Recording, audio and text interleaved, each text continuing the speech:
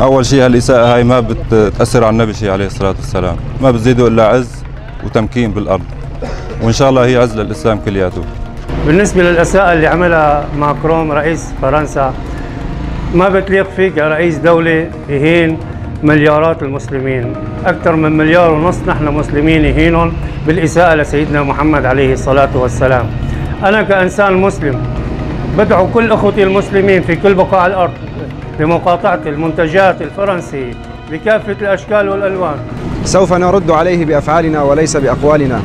اليوم سوف نتخلق بأخلاق النبي صلى الله عليه وسلم ونعلم أبناءنا الأخلاق الجيدة التي تحلى بها رسولنا الكريم.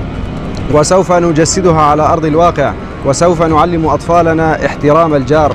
وإطعام المسكين واحترام الضعفاء والمساكين. الرد نحن نتخلق بأخلاق النبي عليه الصلاة والسلام باتباع سنته آه، تربية أولادنا معاملتنا مع جيراننا مع المجتمع اللي عايشين فيه نحن كمسلمين. يجب أن نقاطع الغرب وخاصة فرنسا لأنها اساءت للرسول عليه الصلاة والسلام. بالنسبة لسيدنا محمد عليه الصلاة والسلام علمنا ما ترك شغلة إلا ما علمنا إياها ونحن متقيدين فيها. وعم نوصل رسالة نحن لكل العالم إنه نحن ديننا هو دين أبسط منه ما فيه دين يسر.